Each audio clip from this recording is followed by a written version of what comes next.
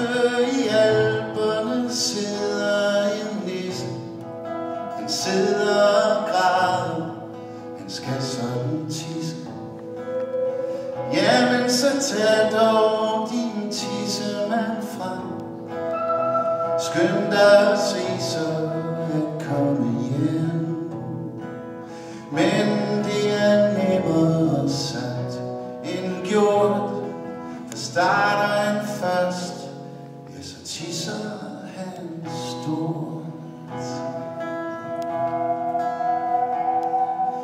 Sneen på bjerget bliver helt farvegul Bjørne må flygte, det samme må fugle Regnorme drukner og muslige så. Vandrende pinde vil også forgå. Den nisse vil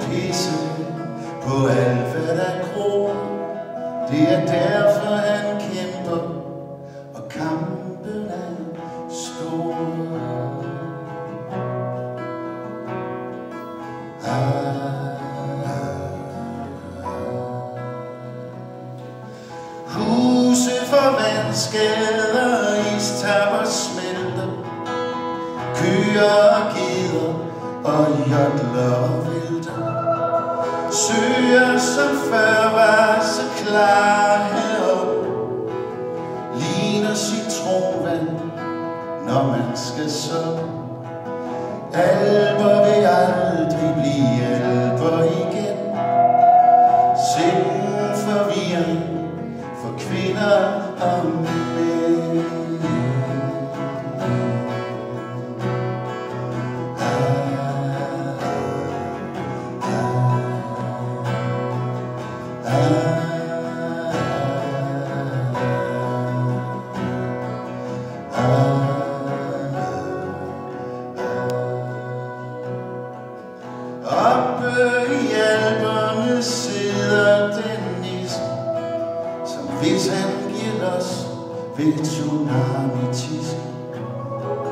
Tænk over det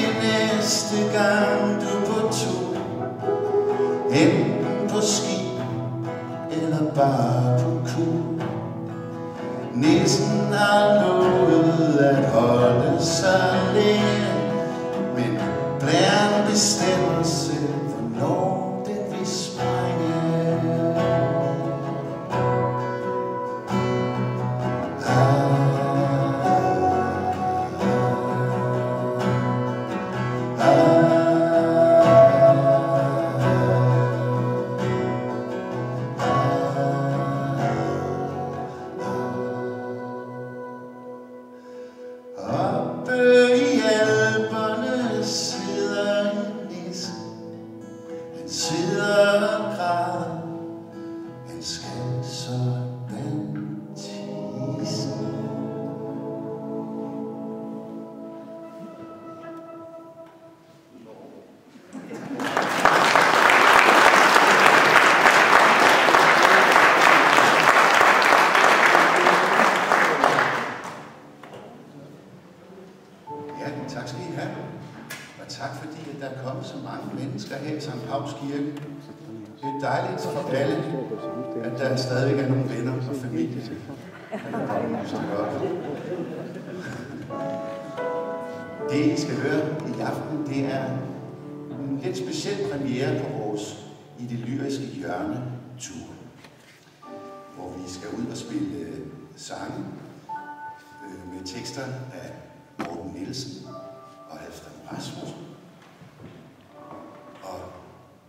reinkarnationen af H.C. Andersen. Mig.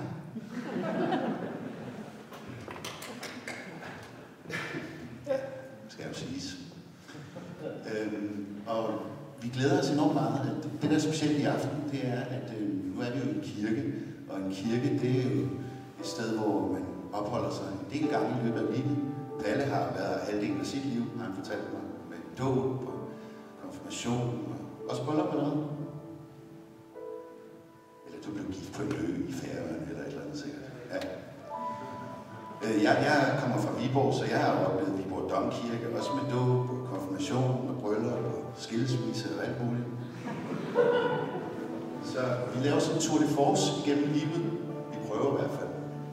Og vi har taget sådan et uh, Danmarkskort ned, så I alle sammen kan følge med i, hvor vi er henne. Der står Palle. Og alle ikke kan se det. Palle han stammer her fra Hastig skal du også se det, hvor du stammer fra. Mm. Og det er sådan, at øh, for en 15 år siden, der skrev jeg øh, en sang, der handler om en lille dreng, som render rundt og er verdens midtpunkt, indtil han får at vide, at han skal være storebror til en pige. Og sjovt nok, så skete det faktisk så længe siden i Palles liv. Palles dreng Karl skulle være storebror til Esther. Så den passer jo rigtig godt til i aften.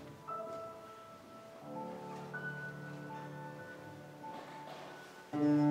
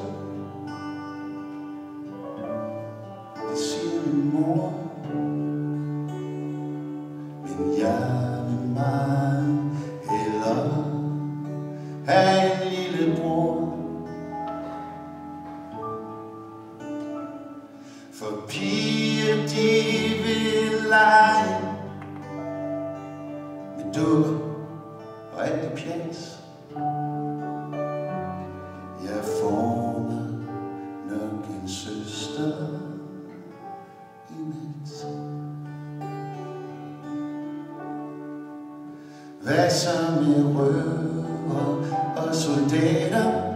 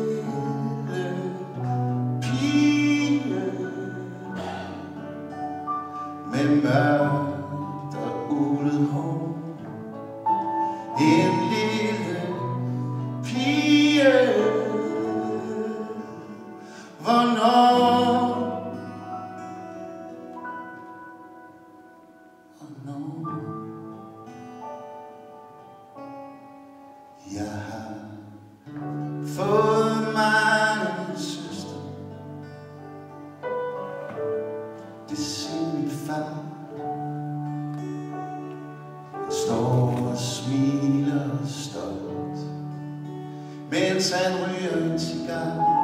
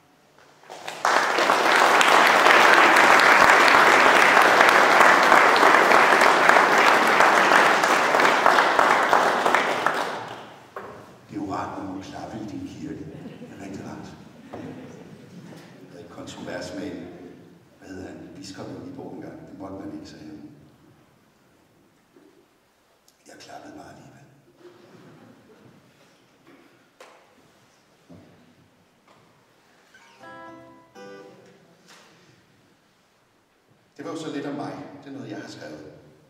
Nu skal I høre noget, som Halfdan har skrevet. Og vi har jo alle sammen vokset op med Lille Skyldig morgentur og Rabban Rasmus. Det er så dejligt. Men han har også skrevet sådan nogle voksne digte, eller lidt mere vågede af slags, kan vi kalde det. Og det skal I høre en af nu. Han har nemlig siddet og tænkt lidt over øh, det der med, at man, man bliver lidt ældre end Karl. Man bliver sådan næsten teenager og sådan noget. Og så er pigerne altså lige pludselig lidt anderledes at se på. Den hiver ikke lige flætningerne mere, men jeg synes, der er et eller andet med dem. Der sker et eller andet i kroppen og hjernen. Og det har han sådan filosoferet lidt over med nogle drenge, der sidder og tænker over, hvad det er med de piger.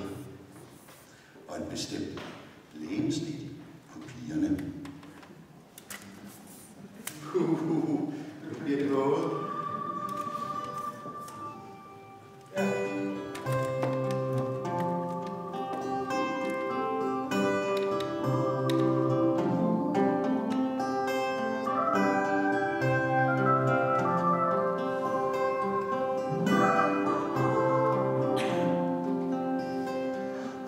var det evige spørgsmål For drenge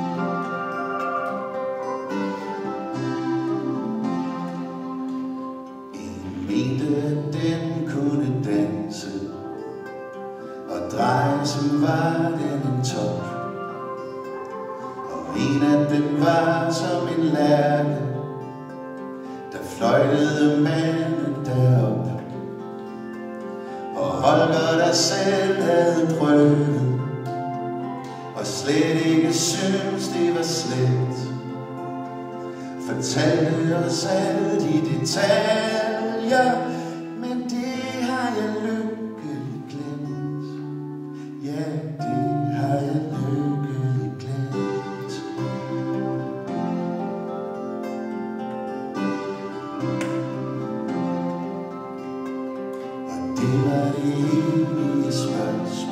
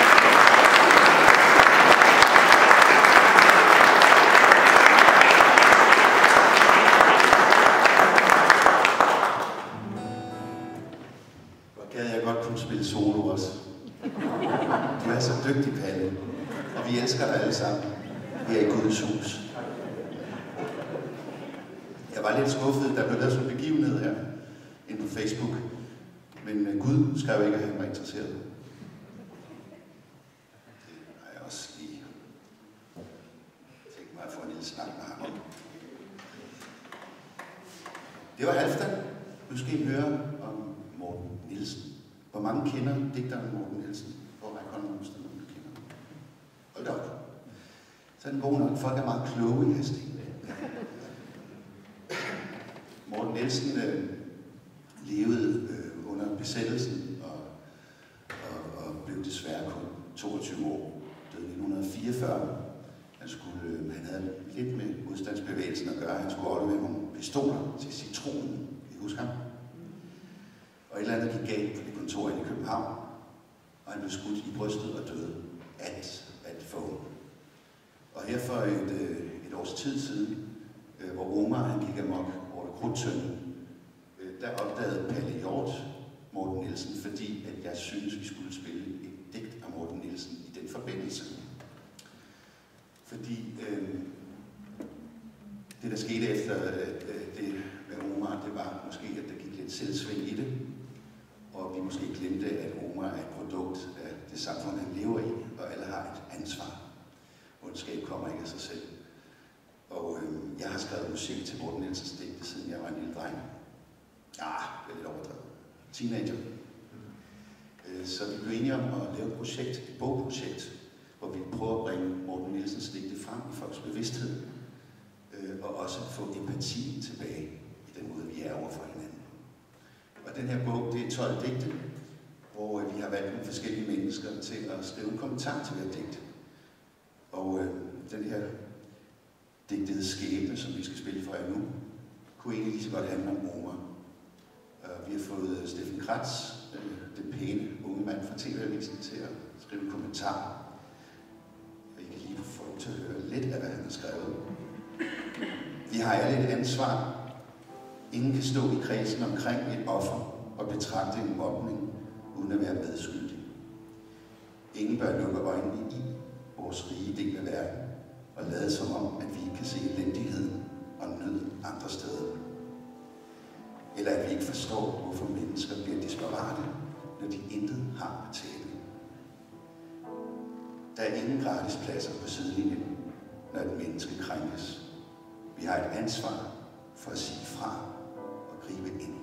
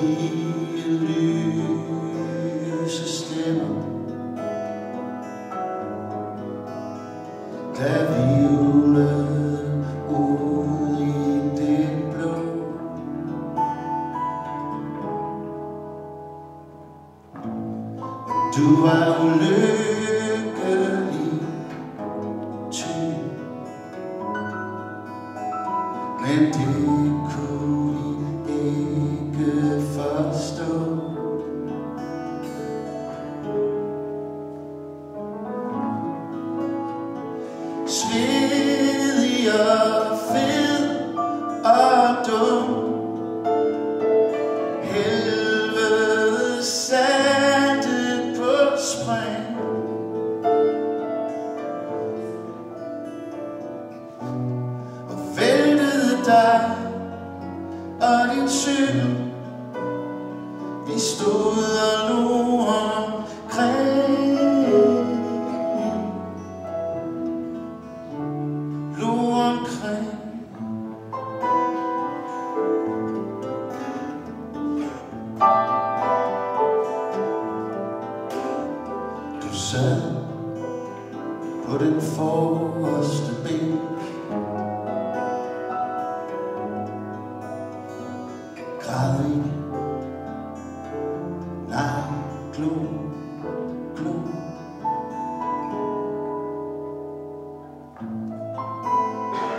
Når en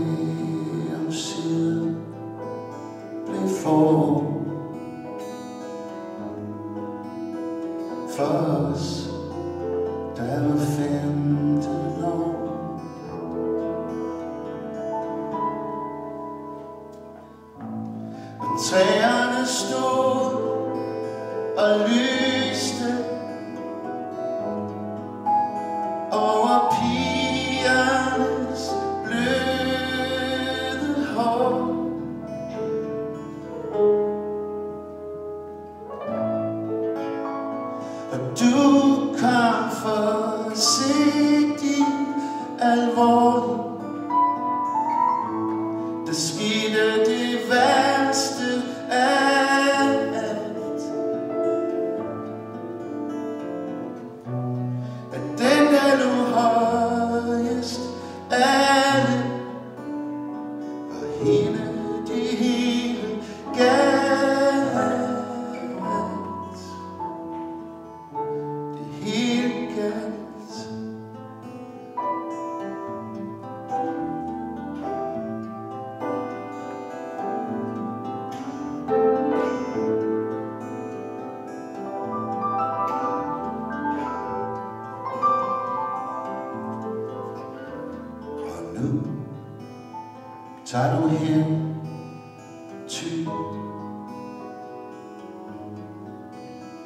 Nu går du med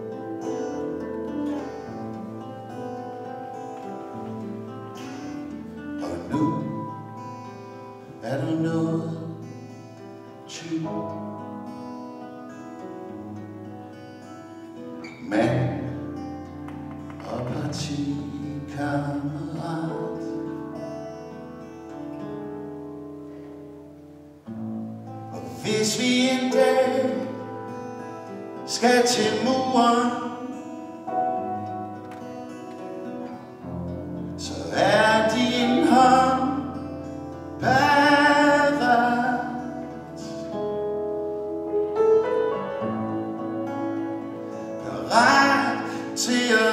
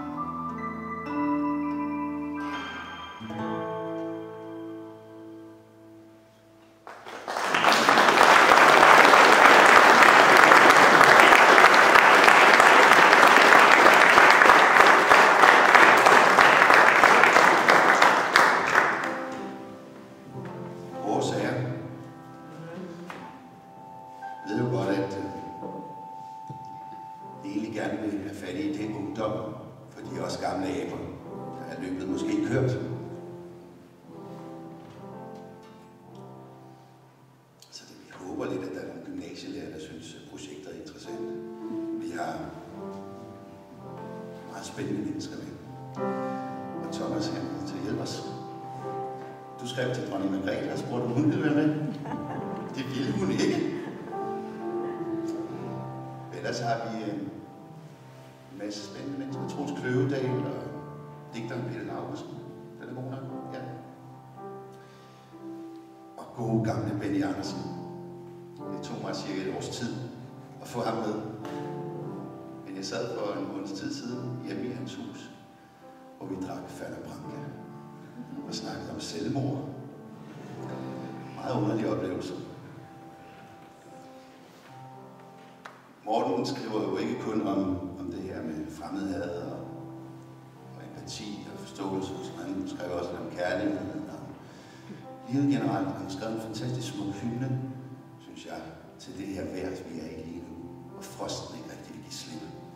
Og der har vi fået Gita Nørben til at skrive, øh, og hun har skrevet Digtet af Morten Nielsen, Gul græs mod solen, har denne ganske særlige stemning af sorg og glæde, af angst og lykke.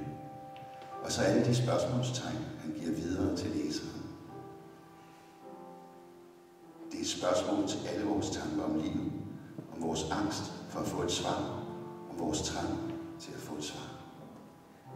Jeg holder af digtet og vil bruge det i mit liv.